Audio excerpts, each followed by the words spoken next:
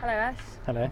So you're back from Japan, Yes. and um, we're doing a kind of series. And here's one of my blue houses, although it's like a grey colour blue. Um, uh, we're doing a series on uh, deals, what went right, what went wrong, um, how we evaluate, and how we still managed to make it turn out right, even though things went wrong at the time. Yeah. It's fair enough. In a nutshell. Yeah. So where are we at the moment? Uh, we're outside Bog Street Yeah, uh, in St Werburgh's. yeah, which is a really Um, cute location, isn't it? Yeah, it's quite nice. It's fairly close to the city centre. Yeah, Um, yeah, it's a nice spot. yeah. Very chilled. Uh, so um, I came walking on Sunday in Mog- uh, down St Werburgh's, and there's a whole bunch of hippies live around here. There's lots of eco houses. Uh, Yeah, I saw your friend Josh. This is Yeah, and there was a whole bunch of tents with some glitter balls. So it's that kind of very vibe. cool. It's very Bristol. Yes. And what's happening in this area?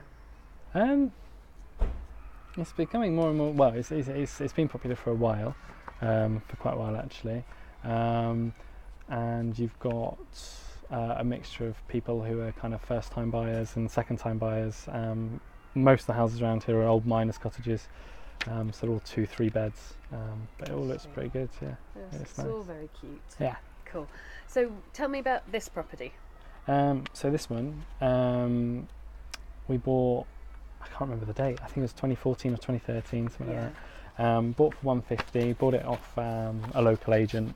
Um, it, at the time, it was a deceased estate. Yeah. Um, person who'd lived in it and not done anything to it for ever. Um, let's say. I remember the Um, drain pipe uh, fed into the bath. Yeah, it was. It was. You know, it's quite a sad one, really. Actually, you know, someone was living in it. It's not great, but um, yeah. So we managed to pick it up from from the agent, and we ended up paying 150 for it. Um, the refurb. Now, originally we had planned to. Um, Yes. T- tell us about the first cock yeah. So originally we had planned to do it as a multi-let, Yes. um, and then on closer inspection, after refurb had started, uh, we found out it was in an Article 4 area. To be fair, to be fair, to do it as a multi-let. This was quite early on. Um, I had phoned the I had phoned the, the letting or the private landlord support team that, that kind of advises landlords in the council and said, "Can I do it as a multi-let?" They'd said yes. Um, but what we hadn't done was check the planning consultation website to show what area it was true. in. So to be fair, we'd asked the council, so we thought that was enough. But we were early, we were new, Mm-hmm. and then uh, one of our neighbours reported us, um, which was great. Um, the planning department came down like a ton of bricks and said you can't do it. And I was like, well, yes we can because we've already talked to you guys in the council. And they went, no, you can't. So tip number one, Check. and how do you check? Uh, go onto your local planning website, and then if you put in the um, normally if you put in the postcode and the address, uh, there'll be a section where it's got constraints, I think, Yes, um, and under that it'll tell you whether you're in Article Four or not. cool. Um, and you, you know you might still be able to do it as a multi-let, but They uh, when- permission beforehand. when I phoned up the planning department, they said not a cat's uh, snowball's chance in hell. so we stopped. So you've got a deal report with you. Deal this was deal number 73 73. Bless little cookie. And how much did we say it was worth? uh, 218. 218. And 218, yeah. How much after the refurb um, did we get it revalued for? Uh, 250. And that was Rick's survey. That was yeah, that was um, part of the remortgage. That was worth 250 on that side of things. Grand. So we were 32 grand under valuation. Yeah, on that one, yes. Yes. Yes, indeed. Um, and then, so, yeah, that I mean, that's based on it, just bricks and mortar. Yes. Um, it's rented out now on an AST. Yes. Uh, currently getting uh, 1150 a month, I think. Grand. Yes. grand. Which isn't bad. It's not too Um, bad, you know, in an area like this where you've got capital growth, you know, it's. Tell me about the capital growth. Um, well, um, it was again remortgaged in 2016, Yeah. early 2016, um, at 310. Yeah. Yeah, so you know, fairly good uplift in value, I think. So figures bought for 150. Yeah, What was the refurb? 40. 40. Revalued at 250 within six months, Rick's valuation. Yeah, And then a couple of years later, revalued at. 310.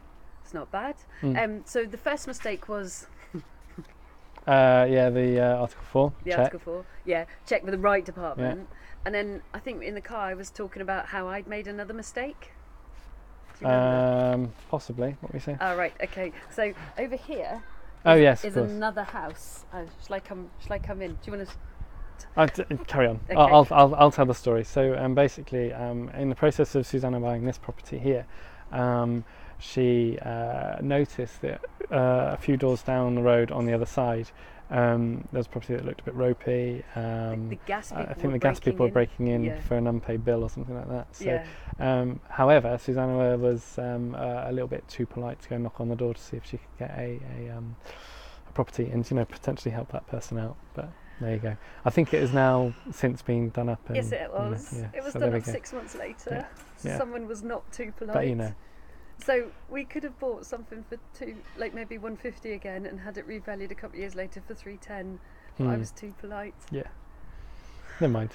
It's all right. So what we want to do here is um, show you guys some deals. Um, oh, could you show how you evaluate the valuation on the deal? Uh, yeah, I can show you briefly. Um, It's our deal report. So this is a deal report. Um, so front page with headline figures, if you like.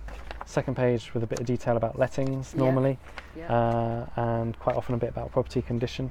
yeah, Um, you know, just kind of possibly what might need doing and things like that.